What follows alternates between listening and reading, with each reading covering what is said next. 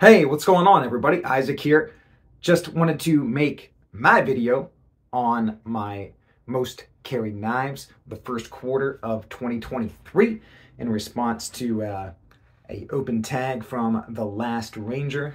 Um, some other guys I follow had posted it, so figure not.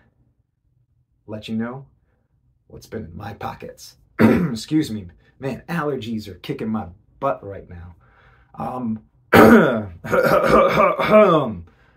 my most carried knife is definitely my Emerson CQC 13. I've really come to enjoy this knife a lot. Love the big clip point blade and the ergonomics of this handle grip are just unbeatable for me. It fits my hand like a glove. You got that rear quillion there to keep locked in. The wave feature is an also a nice thumb ramp for cutting tasks and you can choke up nice and easy like that if you want. Very, very cool knife. Really like it. If you have a chance to pick up an Emerson CQC 13, go for it. Um, he has another knife model that has this same handle design called the Tiger. Um, it's a, it's more of a, it's, it's less clipped than this, but probably still considered a clip point. So if you like the handle design, check out the Tiger.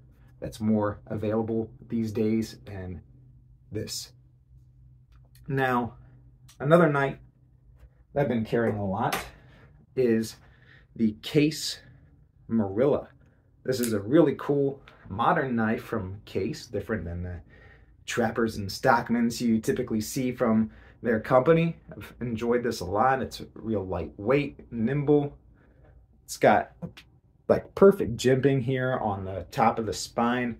Um, really great thickness, pretty pretty thick for a folding knife. It's like 530 seconds thick, so thicker than the Emerson even. Um, not necessarily a tactical knife, but really all around fantastic EDC. I did a full review on this if you want to look it up. Case Marilla. Very great knife. Now, this was really only supposed to be a top three. Um, but I have kind of a tie for third place on both um, other Emerson knives, my Marcus Skinner and my Commander, both fantastic. Um, the ergos on the Commander just super hard to beat. It's so comfortable to hold. It's got that like cool huge recurve there. Very nice. And the, the blade on this Marcus Skinner is just awesome. And you know, the, the, the ergos on this are, are good too. That's just not, it's just, it's not the same as the Commander and CQC 13, but it's in no way like uncomfortable or anything. It fits fantastic. Now that was tied for third. And I will have an honorable mention because I, I, got this at like the end of the first quarter of 2023. And there are still some legality issues in carrying this in my home state of Virginia until new laws go into effect July the 1st. And that is the Gerber 06 automatic. I do carry this around my house and on maybe some private property um, but this will start to get a lot of pocket time this summer because this is one fine knife. Love the blade shape, handle with the grooves, finger grooves here, super comfortable. So there you have mine.